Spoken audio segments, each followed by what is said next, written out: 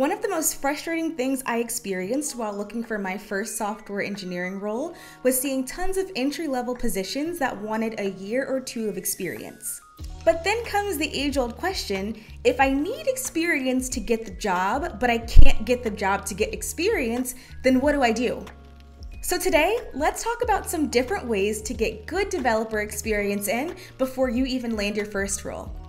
Hey, I'm Bree. I'm a software engineer and your tech bestie who is here to guide and motivate you along your journey into tech. Gaining good developer experience and setting yourself apart from other developers in the candidate pool can be hard. While there is no magic cheat code to landing your first role, there are a few ways to gain a little bit of experience and set yourself apart from your peers. Remember, experience doesn't strictly come in the form of traditional employment. With these methods, and sometimes a little luck, hopefully landing your first role as a software engineer will be a little bit easier. So we're going to be talking about quite a few different things today, and for the items that have resources attached, I have left the links below in the description. So let's jump right in. The first thing that you can do is build projects. Now, I know you've heard from so many different people, including myself, that building projects is one of the best ways to learn how to code. Learning how to code is a hands on activity. There are so many lessons that you won't actually learn until you're coding and you're working on a project and you run across a problem and you have to figure out how to unblock yourself and how to solve that problem. There's just something special about having to do your own research to fix it. But aside from projects being a great way to learn how to code, it's a fantastic way to show prospective employers or clients exactly what you know instead of just telling them. When it comes to building projects and adding them to a portfolio, the projects that you should add should be your best of the best. You don't need dozens of projects in your portfolio to show off your skills, but the ones that you do choose should be well crafted and well tailored to the position that you're trying to get. A common question I get is Can I use a tutorial project on my portfolio? And the honest answer is it really doesn't matter. It's not the project itself that employers are looking for, it's how you implemented your selected skill set. But it's what you do with the project after the tutorial. You should really challenge yourself by making the project your own. So, a few ways that you can do this are using a free and open source API to remove any stub data that you might have in your project. If you're really into CSS and styling, try creating a light theme and a dark theme for the project that people can toggle between. Or if your project uses vanilla HTML, CSS, and JavaScript, try to implement the same exact project but using a framework or a library like React or Angular or Vue. Put your own flair on it. Don't just add the project to your portfolio right after the tutorial. If you get stuck and need some ideas, I have an entire video of project ideas that I'll leave here. The next thing you can do is contribute to open source projects. Contributing to open source projects is a fantastic way to gain experience working on a team before you even land your first role. So, open source projects are projects that are either led by the community or sometimes company sponsored that accept pull requests from the larger coding community so you don't have to work for that organization in order to contribute your code. When contributing open source, you'll take a bug or a feature request, collaborate with that project's community, and open a pull request for your work. This almost perfectly represents what you'll experience during your first engineering role, minus the boring meetings. So after opening a pull request, other developers will review your code and make sure it fits their standards before merging in. This is a fantastic way to learn. One of the biggest differences I noticed about working on like smaller personal projects versus working on larger projects was the code organization and the continuous integration process. Contributing to these open source projects will really expose you to those differences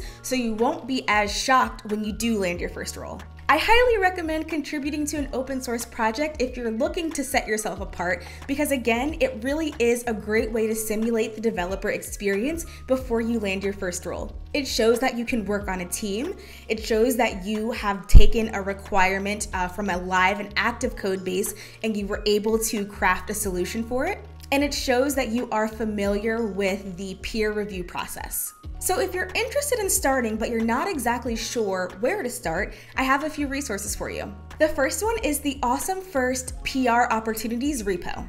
This is a GitHub repo dedicated to sharing open source uh, projects that have good first opportunity issues or feature requests. I also love that they give you the exact issue flag that you should look for in that repo. The second one is a blog post by Rizel Scarlett, and it is From Zero to Hero Quick Tips to Navigating Open Source Like a Pro.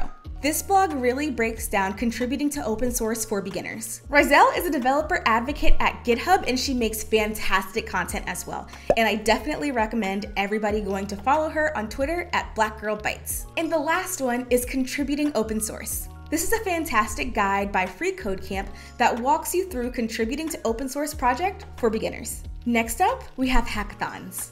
Hackathons are a fun way to code and earn cash or other prizes. Hackathons are basically coding competitions where there is a specific theme or requirements that you or you and a team create a solution for. Some hackathons take place and they may span a day or two, and others are virtual and may last a few weeks or even a month. At the heart, hackathons give you the opportunity to show how creative you can solve a problem with code in a relatively short amount of time. I think they're really awesome at forcing you to sort of think outside of the box and create something you never would have given the requirements. I will say, hackathons usually produce working code and not always beautiful code. So if you take a second to clean up your projects after, they can create a great portfolio project or even just a great talking point on your resume. Besides, who doesn't love to code and earn a little cash while you do so? If you're interested in hackathons, DevPost has a great list of hackathons that are currently going on or going on soon. But if you're not really finding what you're looking for, a quick Google search for hackathons with your selected skill set will do wonders. And the last one we're going to talk about today is volunteering. So, if all of the other options are boring and you're trying to create a portfolio for yourself, um, if you would like to start freelancing, another way to get some experience in is to volunteer your time and expertise. There are so many ways to do this, so do whatever feels best for you. If you're interested in coding to help your community, try searching for some coding groups or coding cohorts in your area. In some cities, people get together in coding cohorts and they create solutions or applications that directly solve the needs of people in that community. It's a great way to interact with other developers in your area and do a little social good. Another option might be helping a small local business.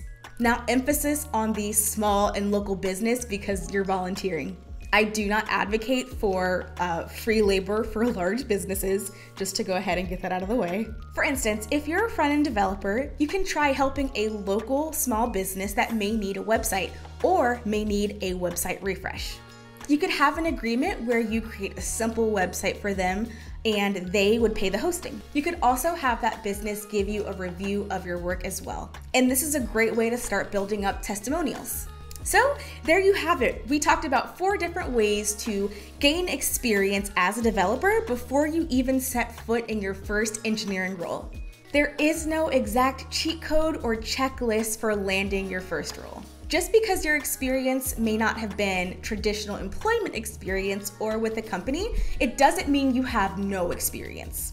So I hope that you all found this video helpful and don't forget to follow me on other social platforms like TikTok where I typically post daily and Instagram. And until next time, I'll see you in the next video.